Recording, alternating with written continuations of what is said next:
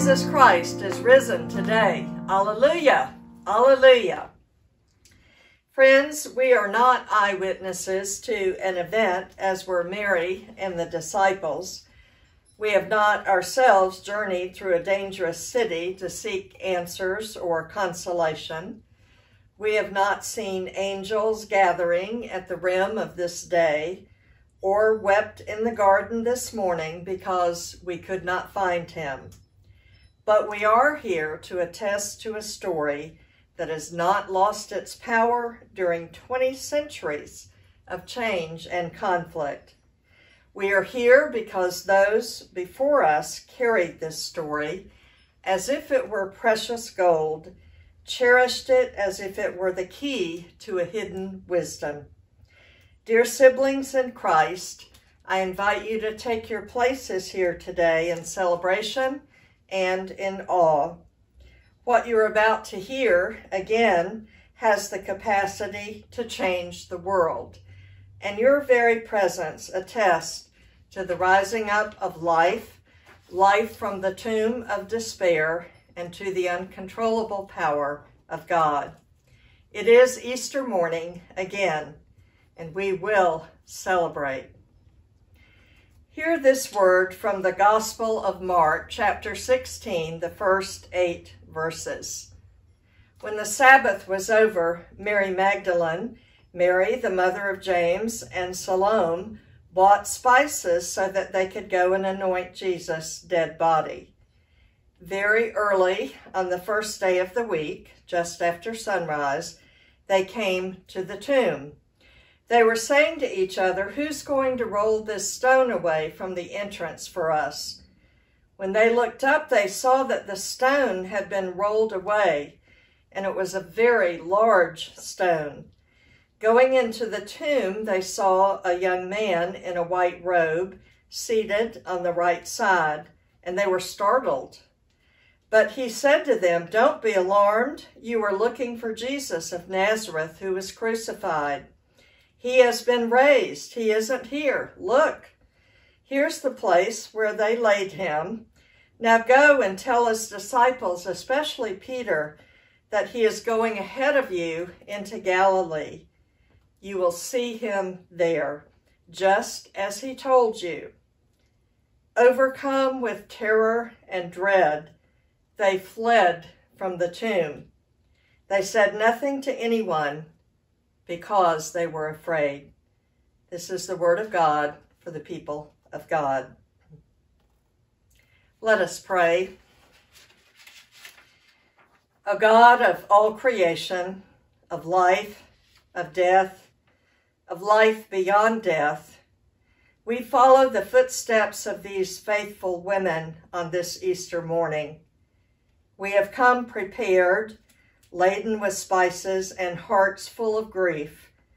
We come wanting to honor our ancient burial rituals, and we arrive in stunned wonder.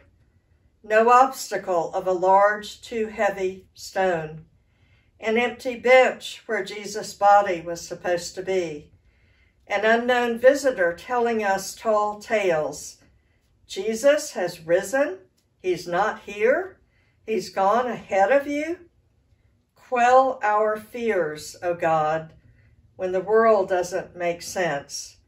Slow down our rapid heartbeat when we are paralyzed with confusion or suspicion.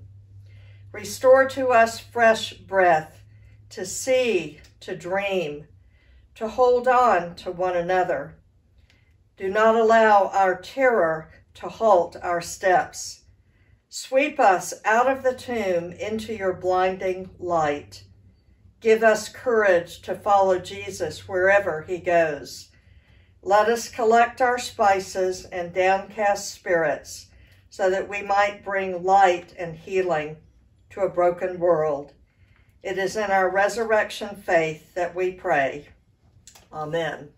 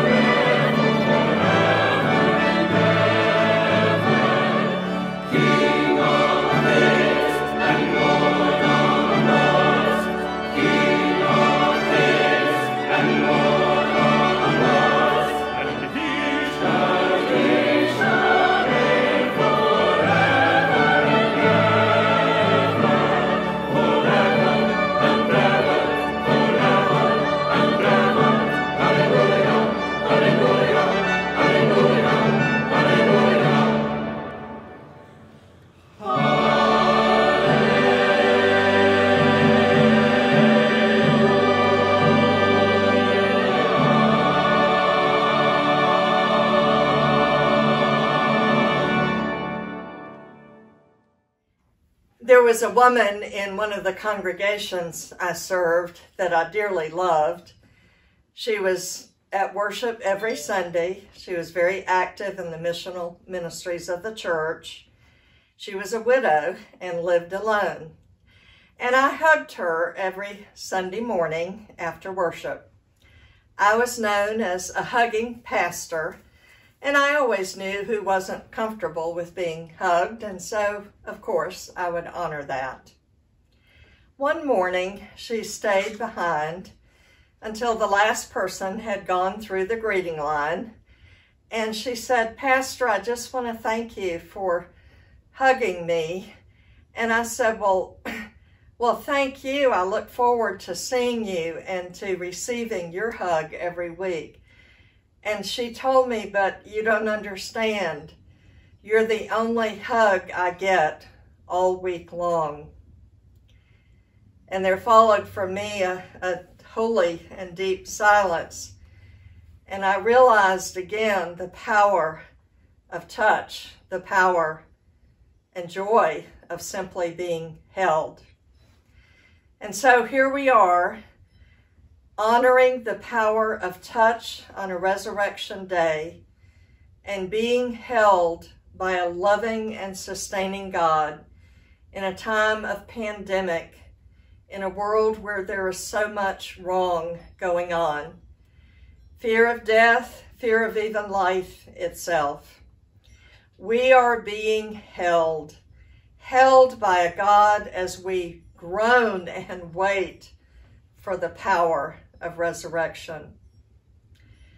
What we can say today is that God is embracing this world, holding disease and war economic collapse, political divisions, fractures in our very families, our society, and indeed our church.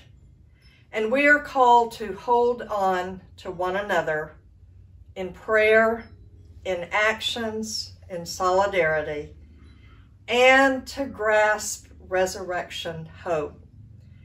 Christ is risen today. He is risen indeed. As you go forth from this time of worship, go forth in the joy and peace of a risen Christ, ready to be his presence in the world. Amen.